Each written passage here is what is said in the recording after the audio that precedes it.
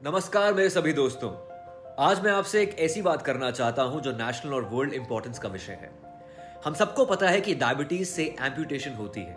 क्या आप जानते हैं कि हेल्थ मिनिस्ट्री के डेटा के अनुसार भारत में हर साल एक लाख से अधिक एम्प्यूटेशन होती है। एम्प्यूटेशन से जुड़ी समस्या को दूर करने के लिए वैस्कुलर सोसाइटी ऑफ़ इंडिया मतलब वीएसआई और vascular society for limb salvage मतलब वीएसएलएस बहुत काम कर रही है। मैं आप सभी से अनुरोध करता हूँ कि वीएसआई और वीएसएलएस के एम्पुटेशन फ्री इंडिया के इस जागरूकता अभियान में शामिल हों, ताकि हम इस बीमारी को जड़ से मिटाने की तरफ़ एक कदम बढ़ा सके।